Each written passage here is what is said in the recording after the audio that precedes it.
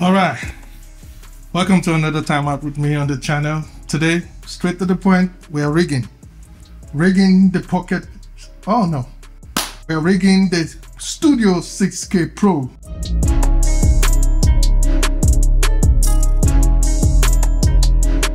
Now for the rig, I went with a well small rig, 12, uh, small rig 12 um, inch long, um, 15 millimeters rod. Uh, on here we have this. Um, okay, I can this for now. Okay, so let's take a look at what we have here. I have this um, V-mount battery from a funny name, a Kula, a Kokaku, Kokaku, whatever the name is. Yeah, um, it's a very good product. Um, used it for a while now and I love it. This um, unit comes with um, power right here. I don't know if you can see it. Let's take a look here. Right here, I'm gonna turn it on now. Can we get, you hold it for a few seconds here, it just came on. And now we have power. Um, so let's turn this on.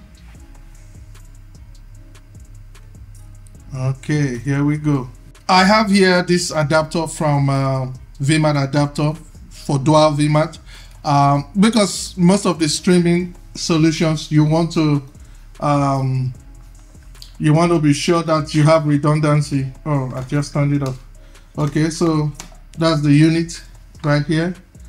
It's for two V-mount batteries and uh, you don't have to mount both at the same time. The idea is uh, you can switch it up, you can swap it up so that uh, you don't have uh, issues with uh, cutting your recording. Three, Micah, two, action. Let me share this with you. I had this documentary I was shooting and this was the day that I told myself, I'm never going to shoot another documentary, another production, another video without extra or redundant redundant battery. Now, don't get it twisted. I had a bunch of batteries with me right there on location, but to switch it up at the when the battery was already red at a sensitive moment, like for God to have brought all of this around, I never would have thought that my son needing surgery on his knee would have been the catalyst for me changing my life.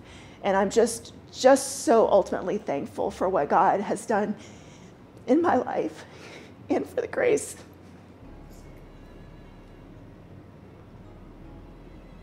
And for the grace that I found here. But imagine telling her to take it again and keep that same emotion. okay, so it's a plate on a plate so I'm going to mount it back here okay so we'll turn on the power okay all right I have swapped uh, the zoom and uh, the zoom and uh, focus demands. I'm using different cables like I said. That's why this one is uh, um, folded here. I told you I got long cables. And on this one I used a white cable because I want to know uh, for sure which is which if I have to take so I don't pull this off by mistake. So I want the colors to be you know popping out. This is not I'm not trying to have a pretty rig. I'm trying to have a functional rig. So um, this could have been any color but I chose orange. As my company color so might as well just keep it uh, 100 you want one of these tripods with both hands and you can mount it on each side now for me this is better for my right hand it's this just had to be my right hand so this one, um, you know, it's a lot better for me on my left. See that? Um, yeah, the left hand does this pretty pretty nicely. So I, I kept this one on the left hand and this on the right. Um, the battery is from Neewer and of course I have several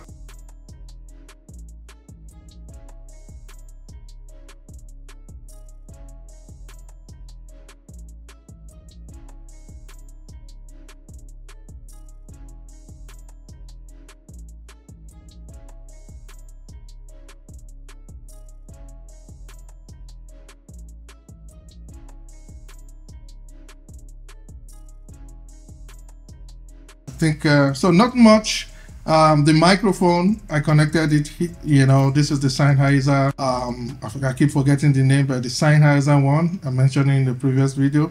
Uh, that's been my go-to sound for sound. I had to mount it with this shock rod. This is from another microphone and that is not as good. And so I take I took this one off and used it here. The power, this is what you need. Um, somebody asked me what what cable to power to V, v mount. There are two um, options. Uh, you may want to power from this spot. This spot. Let me go. Let's zoom in. So you may want to power from this spot. Okay. Now, um, but you have to be careful. Not all cables can power it. Uh, I like I got this one and it won't work. Okay. Get the one for from Kondor Blue. That's my uh, um, any of these Kondor Blue says the power with this option or this option. I chose this option because um, um, it's it's it's four pins, right? It's a lot more solid, I think, and then straight to the V mount. I'll show the, the images while I show them, talk about them, but um, pretty much this is the simple setup. I believe that's all. I don't want to be a long video. The SSD, um, I took it off because I was spinning the camera, so the the so it won't break the cable. Um, comes in here, okay, and then if we push the record, we are on air right now or we're not, we're recording right now. Um, so this is the simple setup. That's how simple it is. It's functional, doesn't have to be uh, nice looking, but of course we can still do some uh, cable management, uh, which I'll work on a little bit later. Yeah, pretty much that is it. That is it. Thank you guys for watching, like, subscribe, and I'll see you guys in the next video. Get it?